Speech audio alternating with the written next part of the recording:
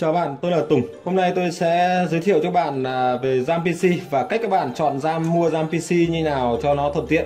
À, cái vấn đề đầu tiên chúng ta bàn đó là có bao nhiêu loại RAM PC trên thị trường đến thời điểm bây giờ chúng ta có à, RAM 2 này, RAM 3 này. À, thì đây à, tôi chỉ bàn đến vấn đề nó ba loại RAM phổ cập còn dùng trên bây giờ. Đó là RAM 2 này, RAM 3 này, à, RAM 4 này. RAM 2 thì dùng cho cái gì? RAM 2 thì dùng cho những cái main socket 1775 này. RAM 3 dùng cho cái gì? RAM 3 dùng cho những cái main socket 1155, 1150 này. À, RAM 4 dùng cho cái gì? RAM 4 dùng cho những cái main bắt đầu tính từ H110 đổ lên. Và trong quá trình à, khi các bạn mua RAM thì các bạn để ý những cái thông số sau để các bạn cần để ý. Chúng ta nhận biết về RAM trước đã nhá. À, các bạn nhận biết về RAM trước như thế nào là RAM 2, như thế nào là RAM 3, như thế nào là RAM 4. Ở đây là thanh RAM 2 này. Ở trên này nó có ghi này.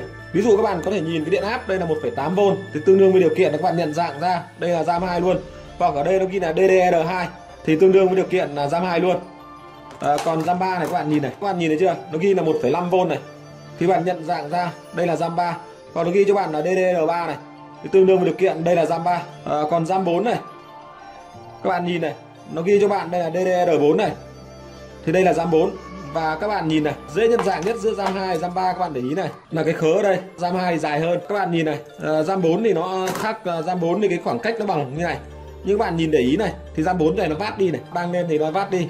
Vậy đây là RAM 4 còn khi mua ấy thì các bạn cần để ý như sau. À, nó phụ thuộc nhiều vào đó là cái main của bạn đang chạy bên gì.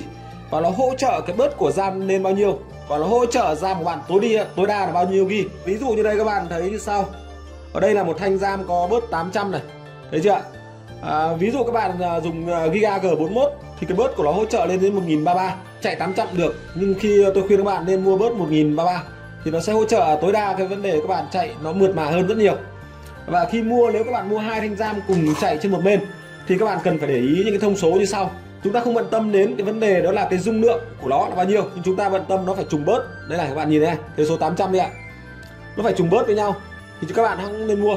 Vì khi chạy trùng bớt thì nó ít cái lỗi đâm xanh hơn. Hoặc như RAM ba này à, các bạn để ý này hoặc như RAM ba ở đây chúng tôi có hai loại. Cái này à, dễ à, để xem là cái chất lượng RAM như nào cũng có thể dựa cái này ở khi mua RAM ba thì chúng ta trùng bớt này 1133 này 1133 này. Nhưng ví dụ như là đây là RAM Kinh Tơn ờ, ở đằng sau nó có một mặt chip thôi bạn nhìn thấy chưa? Nhưng ở đây cũng là một cái loại RAM ba nhưng nó có hai mặt chip loại này là loại RAM dùng cho server.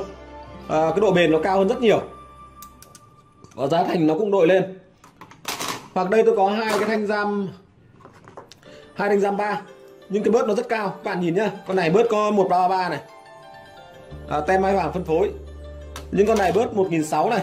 Đây có hai thanh bớt 1006 này. Khi chạy đua RAM mà 4 ghi này thì rất mượt. Hoặc như đây ví dụ à, hai thanh này nhìn thì chẳng giống nhau gì cả đúng không ạ?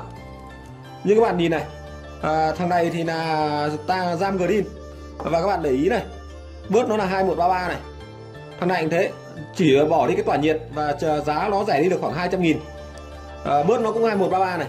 Green là một loại RAM tốt được máy hoàng phân phối và có độ bền rất cao vậy là trong cái quá trình chúng ta chọn à, mua RAM thì hãy mua RAM maximum cái hỗ trợ trên main của bạn. Thì cái này tôi đã làm một cái video. Đó là nên chọn bên ba, mua bên ba như nào cho KPC thì các bạn vào đó, các bạn xem lại à, xem đó là cái main của bạn, hỗ trợ tối đa là bao nhiêu. Thì các bạn bắt đầu đi chọn RAM phù hợp. Thứ hai, nếu các bạn nấp hai thanh, thì hãy để cho nó trùng bớt.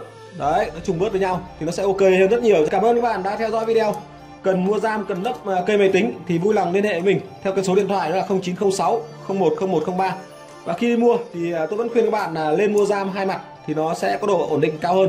Tất nhiên là cái chi phí nó khác cái RAM một mặt này. Và mua cùng bớt. Cảm ơn các bạn rất nhiều.